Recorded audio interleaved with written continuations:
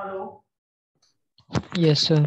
Anji, welcome to the new session of theory of computation. Today we will learn the definition of grammar. Then we will be discussing about Chomsky classification of languages, right?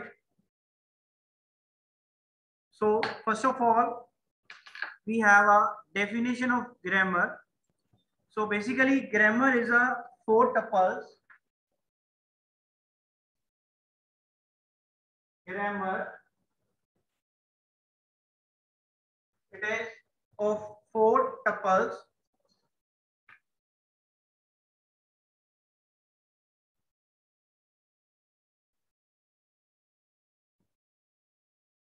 the tuples are v n b t capital p capital s so i'm repeating again grammar consists of four tuples the first tuple is Vn, which stands for variables. Then we have Vt, which stands for terminals. P stands for productions. And S is for start symbol. S is for start symbol.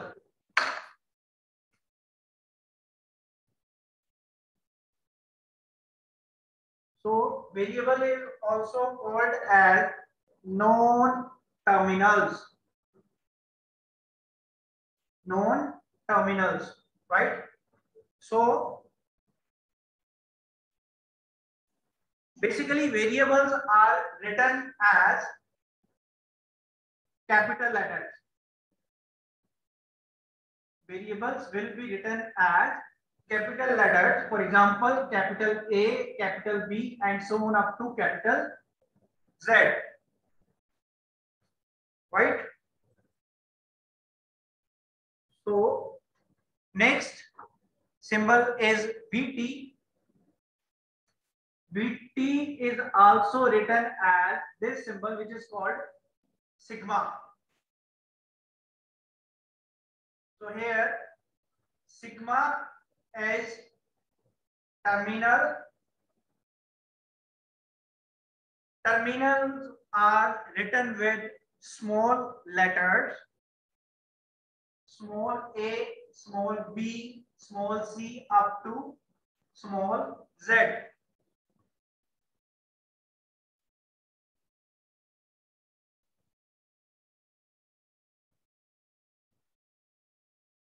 So digits are also known as terminals. Your digits from 0 to 9 are also called as terminals. Then your special symbols plus, minus, star, division and so on. These are also called as terminals, right?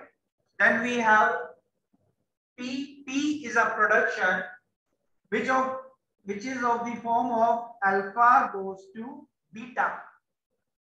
P is of the form of alpha goes to beta. These are called production or rules and it is written by alpha goes to beta where alpha comma beta are the strings in Vn union sigma. Right? So this is your P production alpha goes to beta where alpha comma beta are the strings in Vn union sigma. Where Vn is your variable and sigma is the terminal right? And the last one is S. S is a star symbol right? So I'm repeating again. Grammar is grammar consists of four tuples right grammar consists of four tuples. The first tuple is called a finite finite set of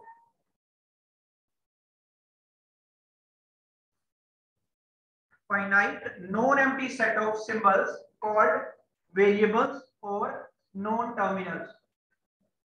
Finite set of non-empty symbols called variables.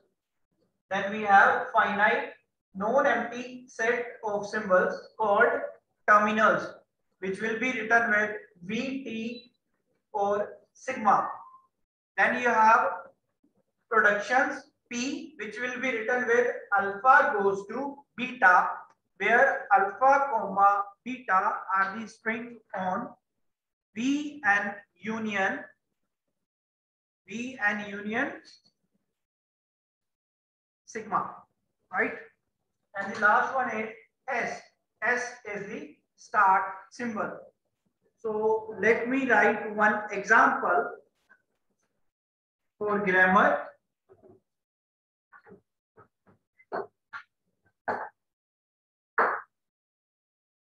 So for example, S goes to capital A, B, small a, capital A goes to small a, capital B goes to small b, right?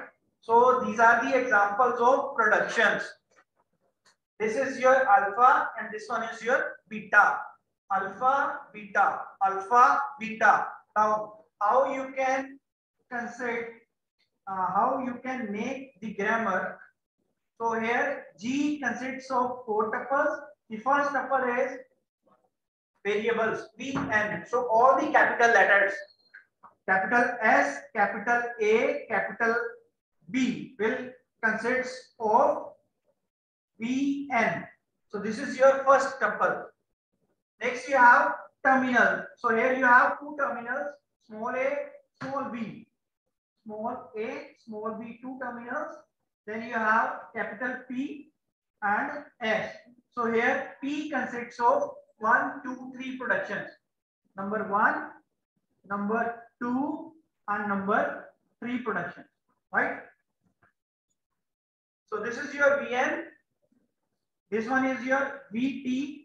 This is your P. P consists of these three productions and S is the starting production right? So this is the example of grammar.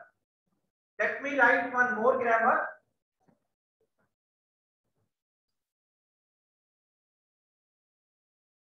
Let me write one more example for the grammar. For example, here you have E goes to E plus E slash E star E slash A slash B.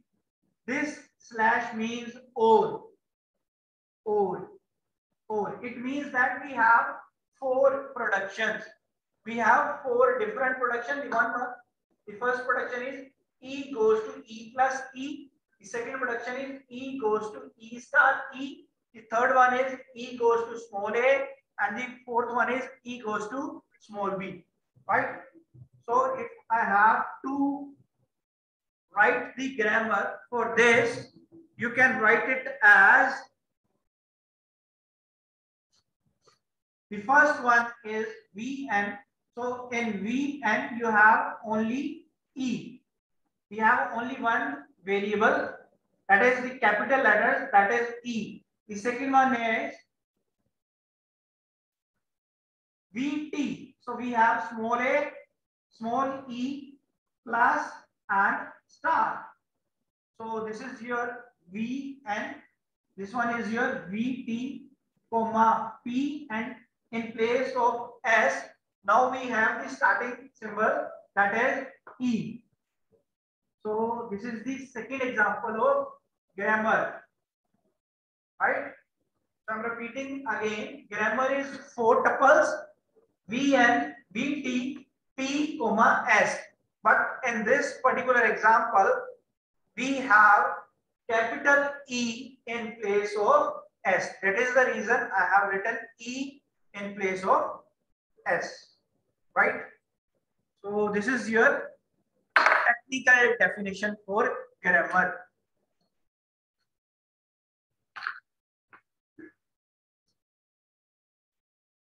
So next we have Chomsky classification of languages. Next, we have Chomsky classification of languages. So according to Noam Chomsky, there are four types of grammar. Type 0 grammar, type 1 grammar, type 2 grammar, type 3 grammar, right? So type 0 grammar is also called as unrestricted grammar. Type 1 grammar is called as context sensitive grammar.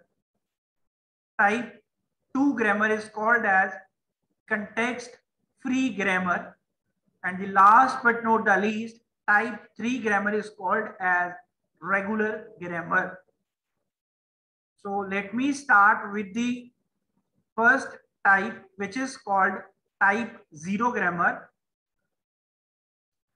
A type 0 grammar is any phrase structure grammar without any restrictions. Type 0 grammar language are recognized by Turing machine. These languages are also known as recursively enumerable languages, right? So these languages are also called as recursively enumerable languages. The syntax for type 0 grammar is phi a xi goes to phi alpha xi. This symbol is called phi and this symbol is called xi. So where phi is left context, xi is right context and a goes to alpha is the replacement string, right? So capital A goes to alpha is the replacement string. So this is the syntax for type 0 grammar. Let me write some examples on the board.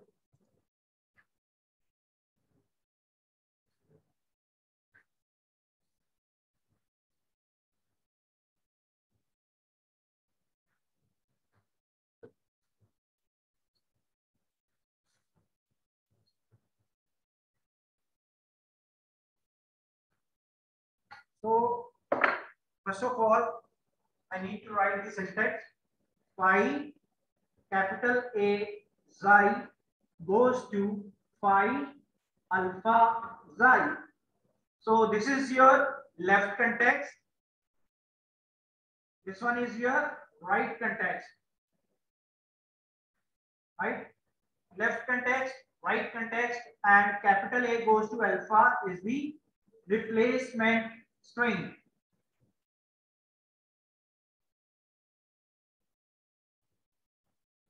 So first of all, the example is, the first example is small ab, small ab goes to capital, uh, small ab, capital A, small bcd, it goes to small ab, capital AB, small ab, capital AB, BCD, right?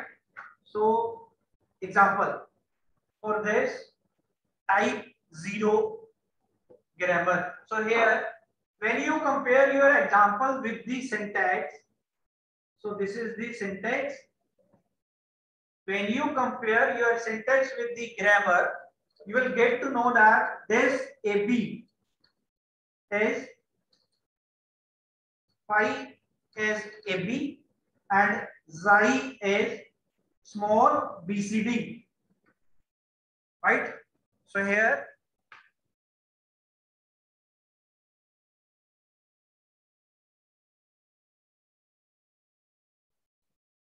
so when you compare your syntax this complete syntax with your example you will get to know that your left context is ab on both hand sides so the value of phi is AB and xi is BCD on both the sides. Right? And capital A goes to capital AB is your replacement string.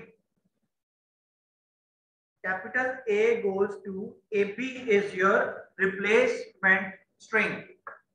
So this is the first example of type type 0 grammar, which is also called unrestricted grammar. let me know you why it is called unrestricted grammar. Because in this case, the value of alpha can be null also. That is why this is called unrestriction, unrestricted grammar. There is no restrictions on replacement string, right? So let me take the second example for this.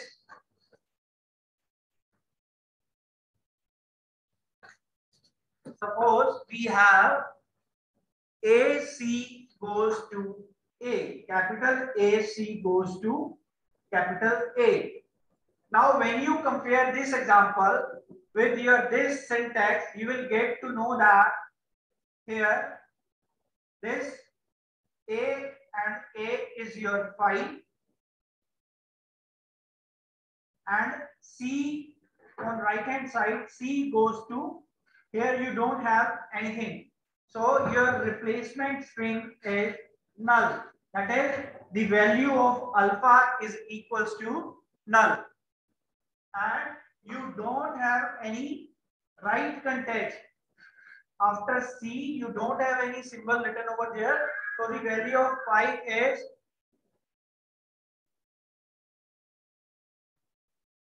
null. So that is the reason we have called it as the replacement string can be null also, right? So here the value of alpha is null. So this is your type 0 grammar, which is also called as unrestricted grammar. Unrestricted grammar. So next we have type 1. Type 1 grammar.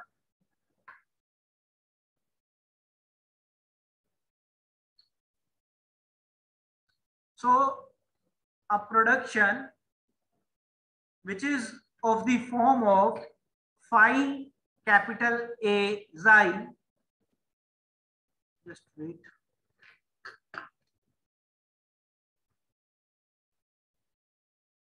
So type 1 grammar, a production which is of the form of phi capital A xi goes to phi alpha xi is called type 1 productions where phi is left context and xi is right context. So it means that the syntax of type 0 and type 1 is same, right? But the difference is here the replacement string can't be null although phi or xi can be null, but your replacement string can't be null. So a grammar is called type 1 or context sensitive grammar. So the second name of type 1 grammar is context sensitive grammar. Right? If all of its productions are type 1 productions. The languages generated by these grammars are recognized by a linear bounded automaton, right? So, uh, let me write the example for this.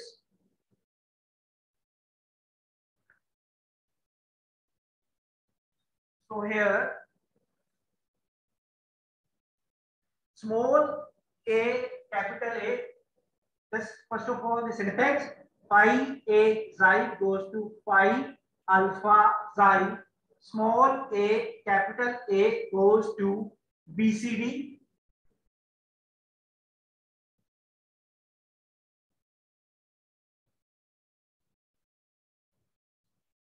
small a, B, C, D, small a B C D B C D. So this is the first example. When you compare this with your syntax, so small a is your phi, BCD, BCD is your right context, that is your xi, right? And capital A goes to BCD is your replacement string. This A goes to BCD is your replacement string. Right?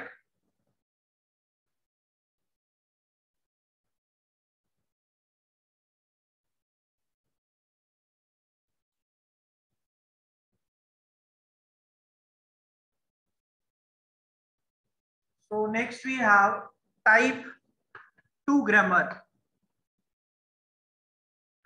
So type 2 grammar is also called as context free grammar CFG or BNF which stands for Backus-Naur form. Context free grammar or Backus-Naur form. So type 2 grammars generate context free languages. The productions must be in the form of A goes to alpha. The productions must be in the form of A goes to alpha, where A belongs to non-terminals, that is your variables, and alpha belongs to terminals union non-terminals, that is your combination of variables and terminals. These languages generated by these grammar are, are be recognized by a push down automata PDA, right? So first of all, the example or type 2 grammar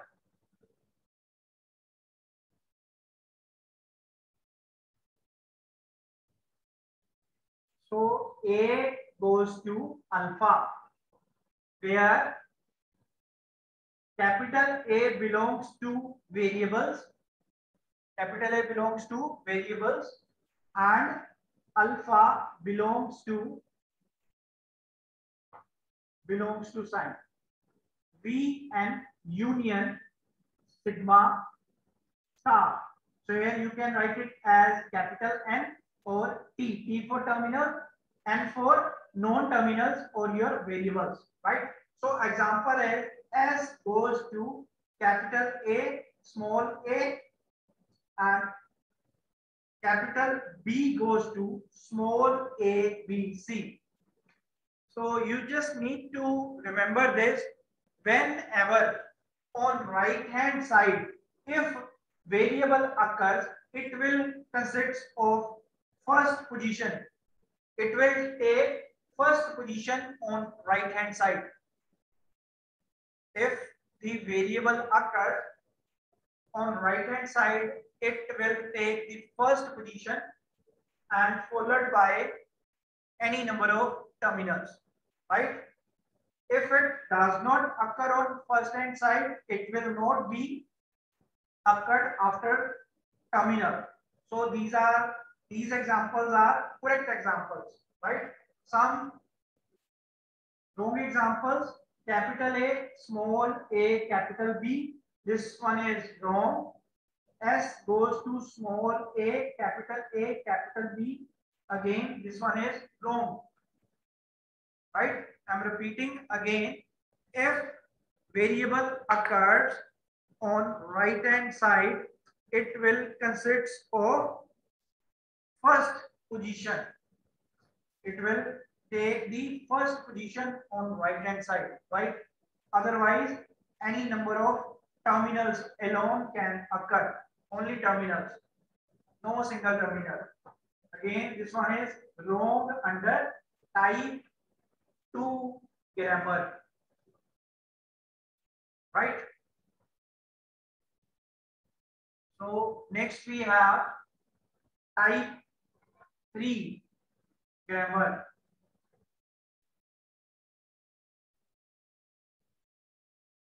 So again, the syntax is same.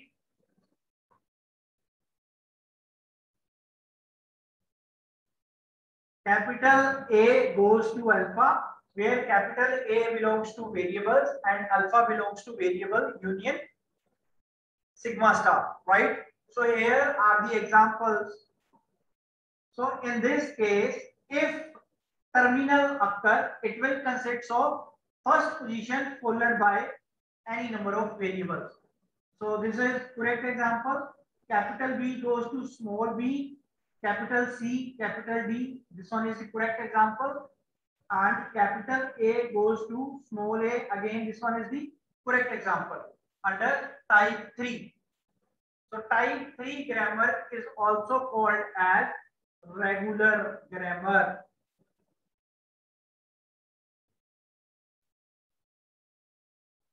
So A goes to alpha is the syntax for type 3 grammar. So the example is capital A goes to small a capital A. If terminal occurs, so it will it will be taking the first position on the right hand side, right? Or it will come alone on right hand side. Only terminal should be there, right? So this is the main difference between type 2 and type 3 because the syntax for type 2 and type 3 is same. I'm repeating you again. So let me write type 2 over here. Although the syntax is same, but what is the difference between type 2 and type 3? In type 2, if variable occurs, it will take the first position or only multiple terminals can occur or multiple variables can also occur. Capital A, B, C, D. So this all are correct examples, right? This is your type 2. And in case of type 3, if terminal occurs, it will consist of, uh, it will occupy the first position, right? It will occupy the first position on right hand side followed by any number of variables. So this is your type 3 grammar.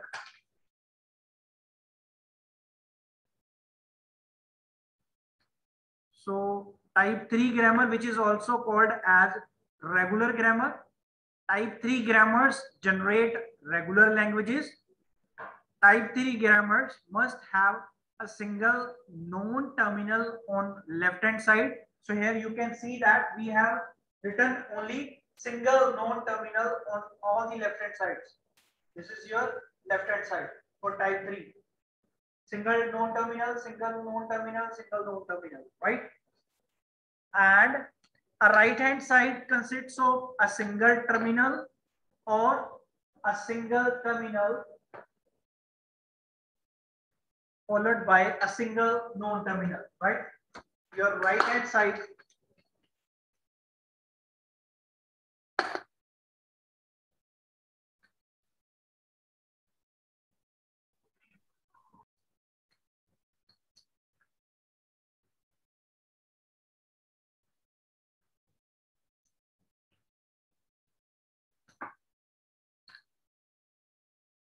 your right hand side Am I audible to all of you? Yes, sir. None. So, or a single terminal followed by a single non-terminal, right? So the rule S goes to epsilon is allowed if S does not appear on the right hand side of any rule.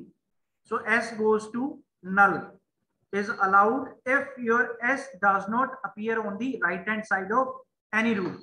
So this rule will be applicable only S goes to epsilon or you can write it as S goes to null. This rule is applicable only if A goes to AS. This thing is not there, right? S is not appearing on right hand side to any rule. So this is your Chomsky classification of languages.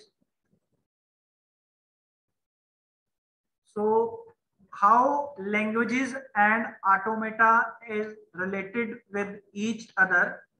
So this diagram will show you about that. So here you can see that on left hand side, all the languages are written type 0, type 1, type 2, and type 3. So type 0 is called unrestricted grammar, which is related to TM. Here TM stands for Turing machine. Here TM stands for Turing machine. Next, type 1 is associated with LBA. LBA stands for linear bounded automata. I'm repeating again, linear bounded automata. Then we have context free grammar. So context free grammar, which is also called as type 2 grammar, which is related to PDA. PDA stands for push down automata. And the last but not the least, type 3 grammar, which is associated with FA, which is called as finite automata. Right? So here you can see the table. So grammar type, grammar accepted, language accepted and automata. So for type 0,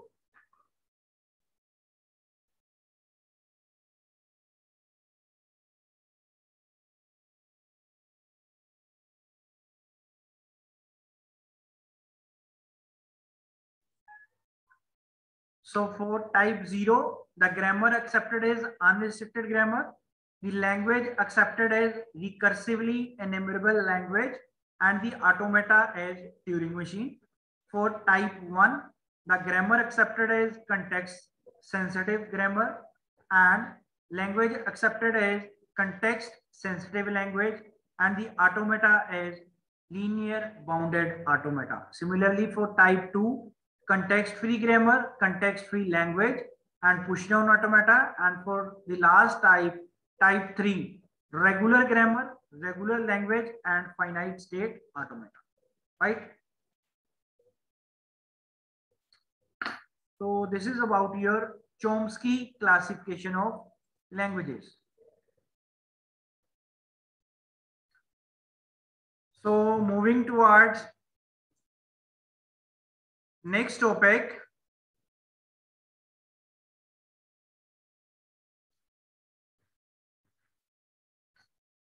The name of the topic is derivation and languages generated by grammar. The name of the topic is derivation and language generated by grammar. Under this topic, we will be covering two more topics.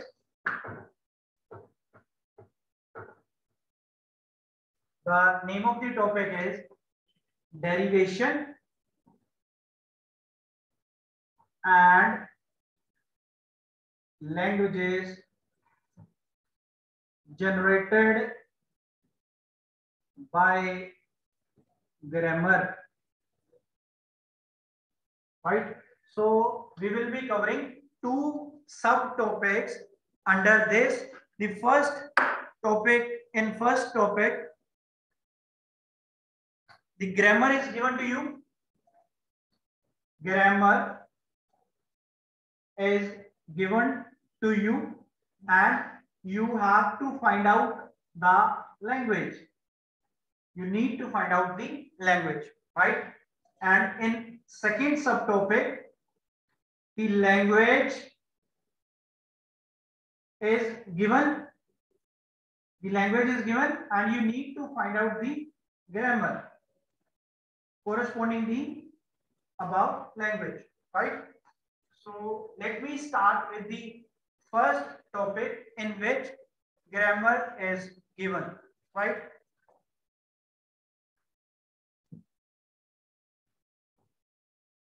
So the first example is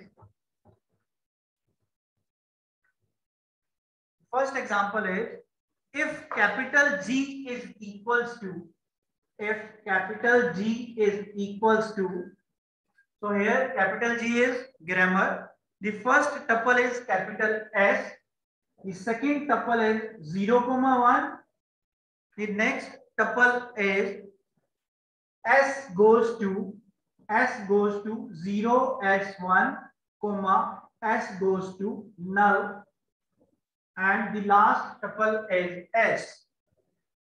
So these are the four tuples which are given to you where capital S is variable, 0, comma 1 terminal and these two are the productions which belongs to P, which belongs to P, right? And capital S is the start symbol. Now the question is find out the language generated by following grammar. The question says that we find out the language generated by the above grammar, right? So this is the question. Now, the solution. How you will be able to find the solution for this particular problem. So first of all, you have to check for the productions which are given to you, right? So we have been given with these two productions written with S goes to 0 S1, comma, S goes to null. So we have been given with two productions, right? After that, your answer should be in terminals. Your answer should be in the form of terminals. First thing, the answer should be in the form of terminals and the terminals should be the power of something. It can be n, it can be m, it can be y, it can be z, any power. And there will be no variable. There will be no variable in your answer. Right?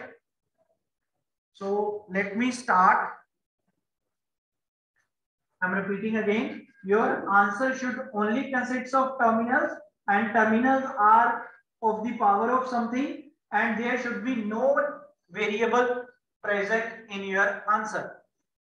So the first production which is given is S goes to 0 S1. This is the first production which is given to you, right? So if I repeat this production, I can write 0 0 S 1 1 because S goes to 0 S1. Only terminals will be repeating, but variable will not be repeating. Right? Only you need to repeat the terminals and you don't need to write S again. Right? After that, if I put this production one more time, it will become triple zero S triple one.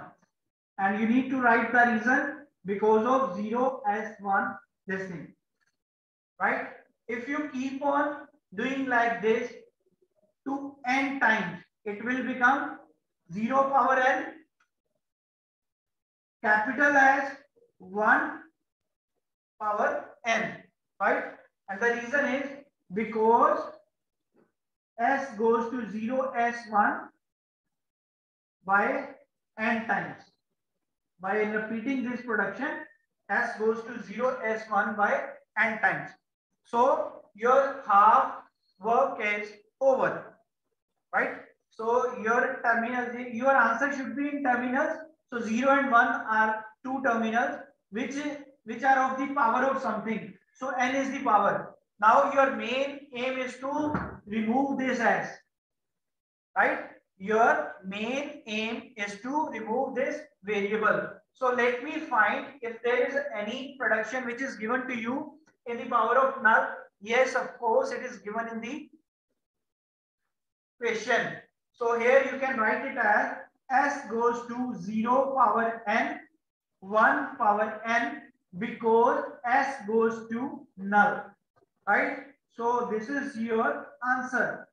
So the language generated by this grammar is 0 power n, 1 power n. This is your answer.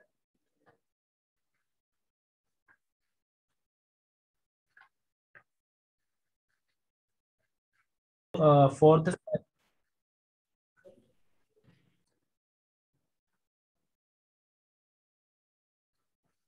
So I'm repeating this question again. The first thing is your answer should be in terminals. your answer should be in terminals and terminals should be in the power of something. Let's suppose it is n and there will be no variable in the answer, right? So let me start with the production. Here S goes to 0 S1. This is the first production. When you when you put this production one more time, it will become double zero S double one. And here you need to find write the reason because S goes to 0 S1. Right? Then when you put this production one more time, again the terminals will be repeated, but the variable will not be in repeated mode, right? So one more time, 0, 0, 0, triple 0, S, triple 1, because S goes to 0, S1. If you keep on working like this up to n times, it will become 0 power n, capital S 1 power n and you need to write the reason because repeating s goes to 0 s1 to n times by repeating s goes to 0 s1 to n times you will find this so you have this x s as a extra term because we don't want any variable in answer. So you need to find out whether there is any production which will eliminate S. Yes, it is given in the question itself. S goes to 0 power n, 1 power n because S goes to null. Right? So your language generated by this particular grammar is 0 power 1, 1 power n. So this is your answer.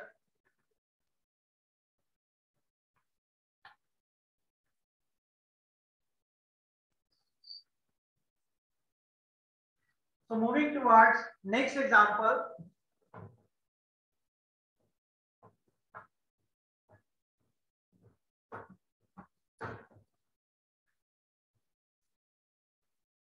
So in second example, the grammar which is given to you is question number second. G is equals to capital S comma capital C the first tuple is capital S comma capital C.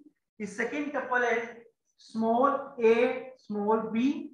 The third tuple is p and the next tuple is a, c. Right?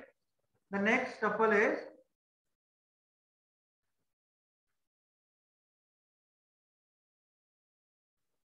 so here C goes to a C A small a capital C small a slash B. So here you will be given with two productions. Capital C goes to small a capital C small a and the second production is C goes to null. You can write this complete thing with these two different productions right? So its meaning is same, right? So let me start with the solution. So the question is you have to find out the language generated by this particular grammar.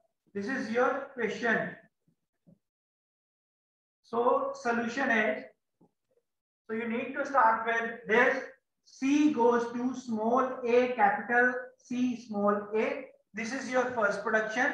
When you repeat it one more time, it will become this because A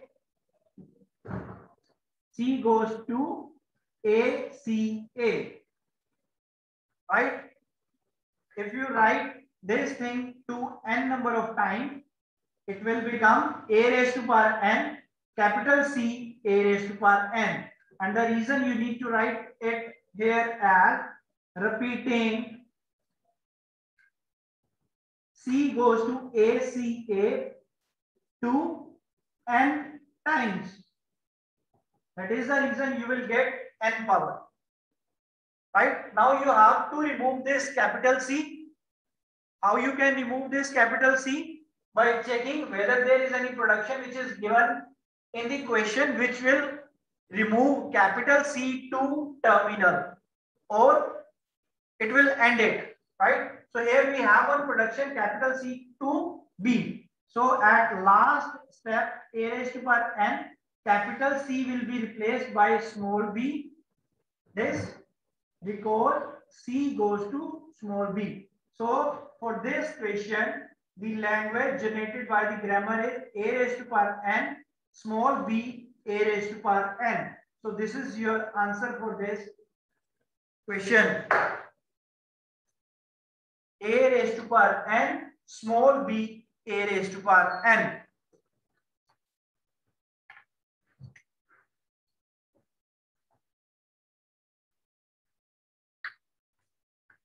So in these two examples, we have seen that we have converted, we have find out the language generated by the above grammar, right? Now in next example, we will be finding out the grammar. Language is given and you need to find out the grammar.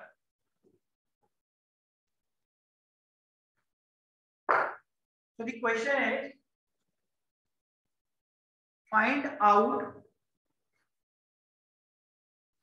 find a grammar generated find a grammar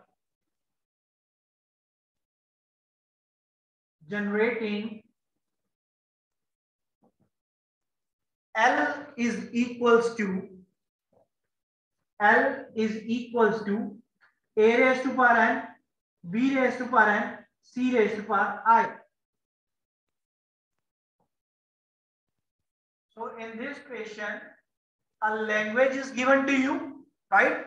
All the terminals are there and those terminals are in the power of something, right? A raised to power n, B raised to power n, C raised to power i. So now you have to find out the grammar. It means you need to find out G, you need to find out Vn, you need to find out Vt, you need to find out P, and you need to find out S. So here small a, small b, and small c is given in the question. It means Vt is given.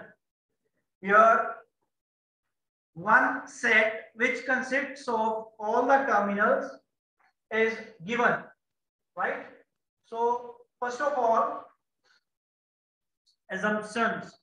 You need to assume something. So here I am assuming that capital S goes to capital S small c. This is my first production which I have assumed right?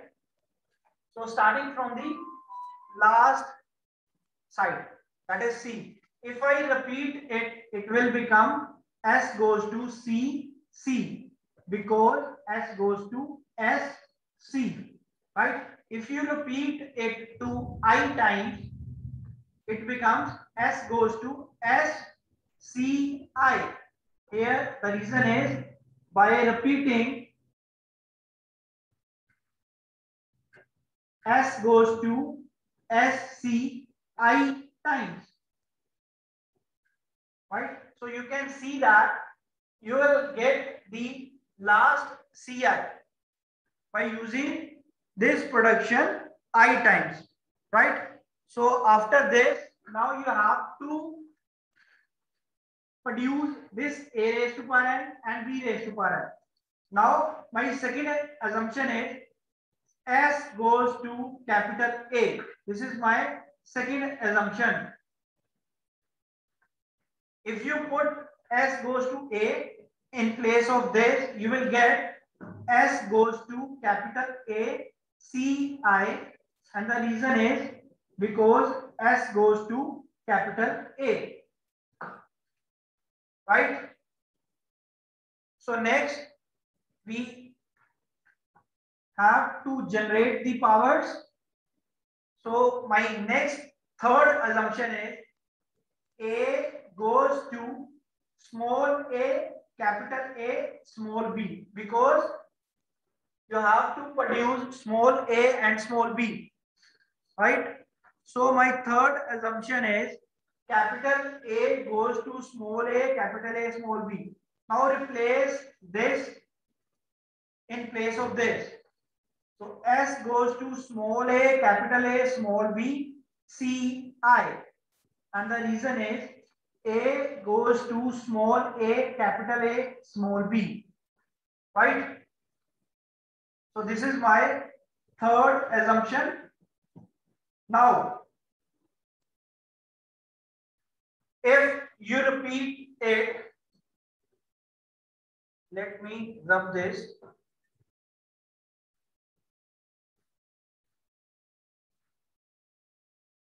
Now, if you repeat it to n times, if you repeat this step to n times, you will get a raised to power n, capital A, B raised to power n, C raised to power i.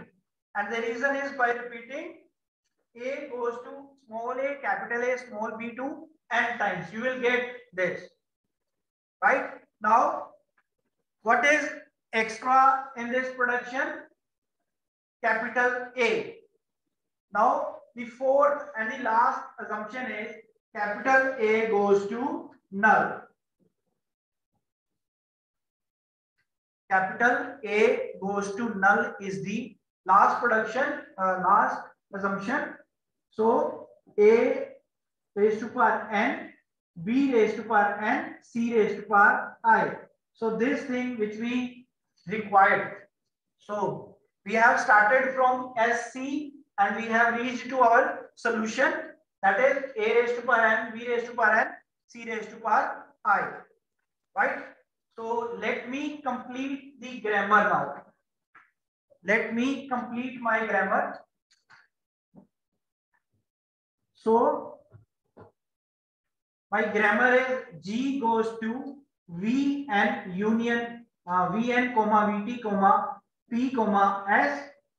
So where Vn is S capital A, S and capital A, is small a, small b, small c, and P. P consists of 1, 2, 3, and 4 productions. Right? P is a productions which consists of four productions written with Romans 1, 2, 3 and 4. And last tuple is capital S. So capital S will be written as as such. Right? So this is your answer.